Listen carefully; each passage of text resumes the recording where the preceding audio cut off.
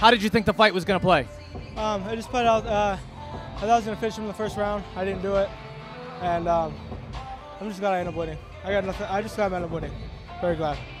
Were you surprised at how often he was able to escape? Because you just fired submission after submission, and he just kept escaping. But eventually, He was slippery. The first time I grabbed him, he was slippery. Um, but I'm just glad I won. Like I said, thanks to God, thanks to Jesus Christ. I just kept my belief the whole time. And uh, I won't lie, I was getting tired out there, but I put out the victory, and I, you know, I'm just happy. so you're saying his whole body was slippery, his neck was slippery. Back, everything, everything was slippery. Everything. First time I, I, I, locked, I was yelling at the ref the whole time. He's slippery, slippery. I couldn't get anything in. His whole, his whole body was greased up. Um, you know, forgive me if I'm, if I sound like I'm complaining. I, I, I don't want to complain. Um, I'm just thanks to Jesus that I won. But um, I'm just gotta pull out the victory.